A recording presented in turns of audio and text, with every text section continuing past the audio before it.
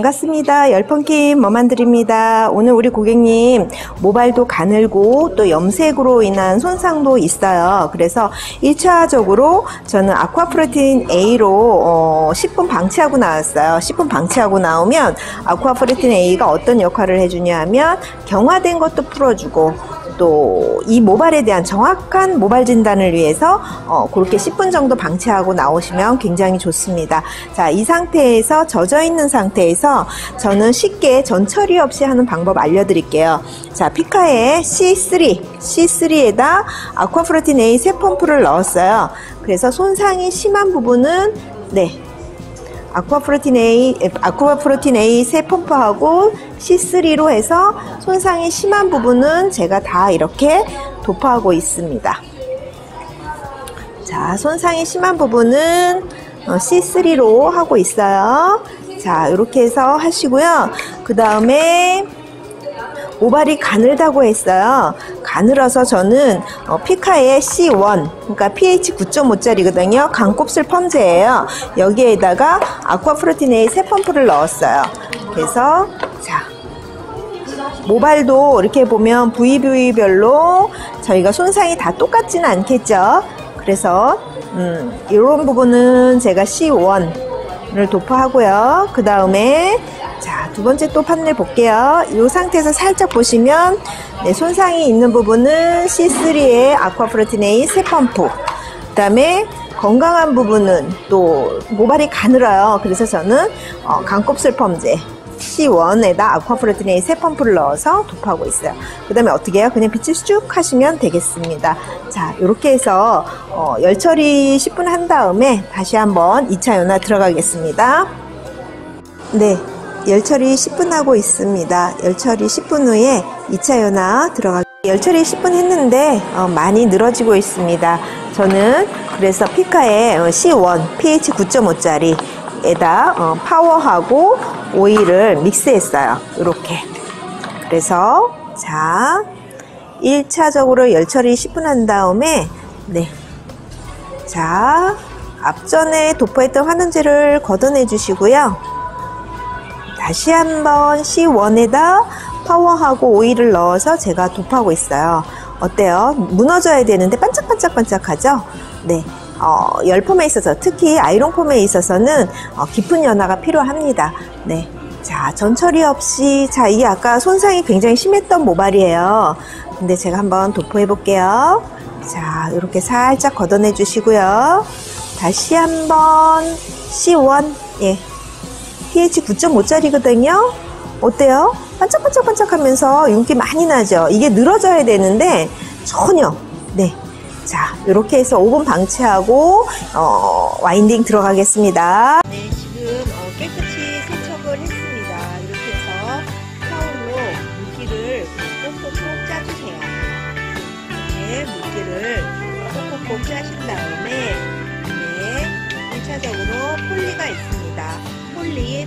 한번 보여주세요.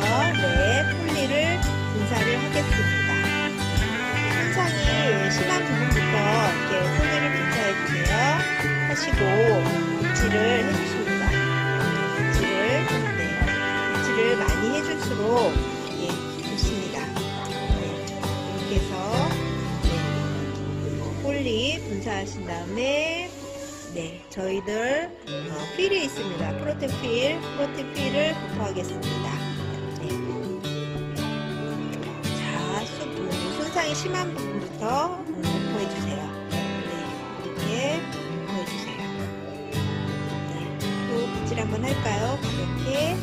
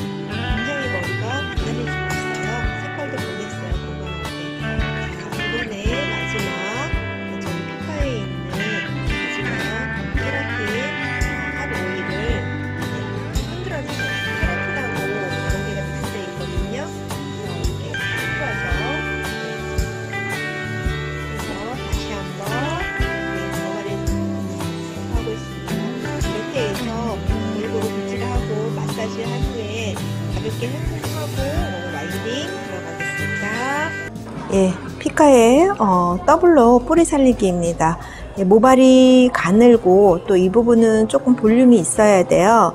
그래서 제가 피카의 더블로 뿌리 볼륨 살리기를 하겠습니다. 슬라이스는 길게 떠주세요. 얇게, 길게. 네, 이렇게 해서 들어주시고 자 13mm 가지고 수분을 한번 건조하시고 하나 둘 셋 하나 둘셋 하나 둘셋 하나 둘셋 됐죠? 이 상태에서 빼주시면 돼요 이렇게 해도 뿌리는 많이 살아요 하지만 피카의 17mm 그대로 더블로 살려 보겠습니다 수분 한번 건조하시고 45도 하나 둘셋넷 하나 둘, 셋, 넷. 자, 다시 한번 제자리. 하나, 둘, 셋, 넷, 다섯. 됐죠? 글러브를, 자, 90도. 하나, 둘, 셋, 넷, 다섯. 이렇게 하시면 뿌리가 엄청 많이 살아요. 네. 이렇게 해서 계속 진행해 나가겠습니다. 네, 지금 어 지금 세 파트로 나눌 거예요. 세 parting으로 나눠서 어, winding을 하는데 세 parting에서 일단 우측으로 넘어가겠습니다. 네, 우측 우측 파트 네, 첫 번째 판넬 winding 들어가겠습니다. 자, 이렇게 잡으신 다음에요. 두 개로 나누셔 가지고요. 어, 피카는 어, 봉도 길고 또 얇게 뜰 이유가 없어요. 지금 뿌린 거는 수분 조절을 위해서 폴리를 분사한 거예요. 자, 이 상태에서 자, 17mm 네, 17mm로 자, 끝까지 수분 건조 한번 하시고요. 잡으신 다음에 예. 조금 여기서 기다려 주세요. 아이롱하고 빗하고 붙이신 다음에 네. 자, 여기서 기다리시면 이렇게 툭툭툭 하고 올라와요. 네. 자. 자. 이렇게 해서 끝이 다 들어가면 하나, 둘, 셋, 넷, 다섯. 끝이 다 들어갔어요. 그 다음에 어떻게 해요? 빨리. 피카의 이 봉이 길잖아요. 이 열을 이용해서 네, 수분이 건조되도록. 그럼 이렇게 마음대로 놀아요. 이 상태에서 내 앞으로 살짝 당겼다 놓으세요. 이렇게 빼주시면 되겠습니다. 두 번째 판넬, 네, 우측 파트 두 번째 판넬은 19mm로 와인딩 할게요. 자, 19mm 수분 한번 건조하시고, 자, 여기서 조금 기다려 주세요. 첫 뜸이 아니라, 어, 머리카락하고 빗 사이로 머리카락이 빠져나올 수 있도록 어, 하는 거예요. 네. 자, 기다리셨다가, 네. 피카는 봉이 길어서 예, 잘게 잘게 와인딩 하는 게 아니니까 조금 릴렉스한 마음으로 천천히 하셔도 충분히 할 수 있어요. 빠른 시간에. 네, 끝이 다 들어갔습니다. 그러면 이렇게 펼쳐주세요. 그러면서, 네. 자, 이렇게 해서 벌써 끝났어요.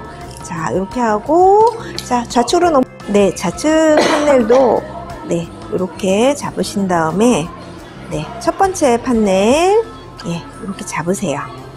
그 다음에, 자, 17mm, 17mm로, 네, 수분 건조하시고요.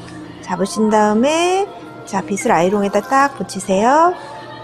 자, 이 상태에서 수분이 건조가 되면 자, 이렇게 끝이 톡톡톡 튀어 올라오죠?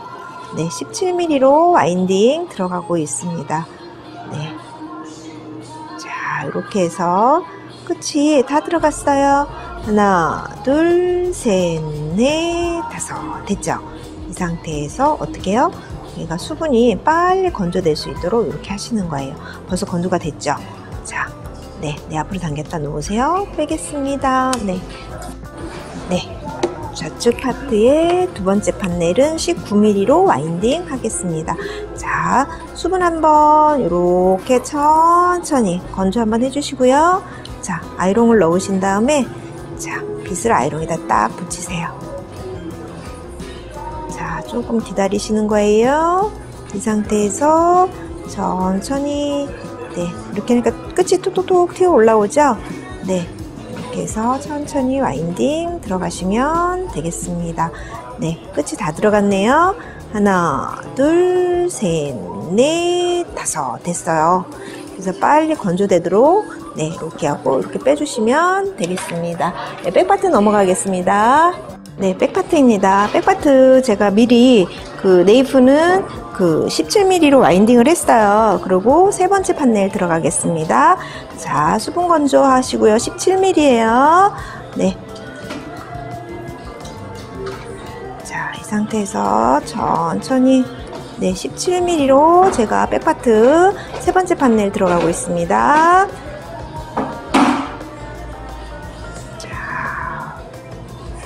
이렇게 해서 17mm 네. 세 번째 판넬이었습니다. 자, 이렇게 빼시고요. 네 번째 판넬 들어가겠습니다. back part 네 번째 판넬입니다. 19mm 와인딩 들어가겠습니다. 수분 건조 하시고요. 여기서 조금 기다려 주세요. 네. 피카는 봉이 길어서 네, 금방 와인딩이 끝나요. 네, 연화만 잘 보시면 와인딩 하는 건 아무것도 아니에요. 네. 피카랑 이렇게 해서 아이롱 펌 하시면 쉽게 쉽게 할 수 있어요. 예, 시간이 오래 걸린다는 편견은 예, 안 가지셔도 되겠습니다. 자, 수분 건조되면 이렇게 펼치시고요. 예, 자, 이렇게 해서 빼시면 되겠습니다. 다섯 번째 들어, 예, 백파트 다섯 번째 판넬, 마지막 판넬이에요. 자, 이렇게 잡으신 다음에 수분 건조하시고 조금 기다려 주세요. 그래서 어우 꽃이 막 톡톡톡 튀어 올라오죠? 네. 자 손상된 머리인데 굉장히 연화도 잘 되고요. 네 너무 좋습니다. 자 이 상태에서 네 이렇게 펼쳐주세요. 수분이 건조될 때까지 쭉쭉쭉. 네 조금 네 수분이 건조되도록 조금만 기다려 주세요. 네 자 어머나 네. 점점 점점 피카가 봉이 길어요 그러다 보니까 네 이렇게 해서 벌써 다 놀죠 이렇게 빼시면 되겠습니다. 그러시면 자 우측에 하나 둘 좌측에 하나 네개 다섯 여섯 일곱 여덟 아홉 열 개로 해서 와인딩 끝났습니다 네, 중화 후에 어, high protein 샴푸, 단백질 샴푸로 어, 깨끗이 샴푸하고 나온 모습입니다. 어때요? 컬력도 굉장히 있고 어, 예쁘죠? 네, 이렇게 해서 완전 건조하고 다시 한번 보여드리겠습니다. 네, 따뜻한 바람, 찬바람 이렇게 번갈아 가면서 어, 건조해 주세요. 네, 자 어느 정도 다 마른 것 같아요. 네, 제가 한번 어, 또 풀어보겠습니다. 자, wow, 예쁘죠? 네. 자, 이렇게 해서 제가 17mm하고 19mm로 해서, 예, 이렇게 해서 웨이브 만들었습니다. 예, 또 예쁜 사진 해서 올려드릴게요. 네, 이렇게, 어, 열 처리 10분 한 다음에 잭을 뽑으시고요. 그 다음에 파마종이 3장을 이렇게 겹치세요. 그래서, 자, 5초씩만 연예인답게 덮개 아이롱을 찝어주시면 지금 이 디지털로 했을 때 지금 네 바퀴에서 다섯 바퀴가 들어가 있거든요.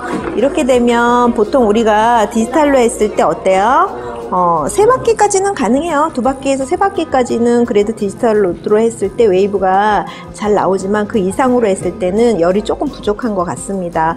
그래서 이렇게 연예인답게 어, 덮개 아이롱을 활용하셔서 네 이렇게 해서 찝어주시면 균일한 리치를 얻을 수가 있어요. 네, 그래서 덮개 아이롱이 그, 아마도 어, 효자 매뉴얼이 되지 않을까 싶습니다.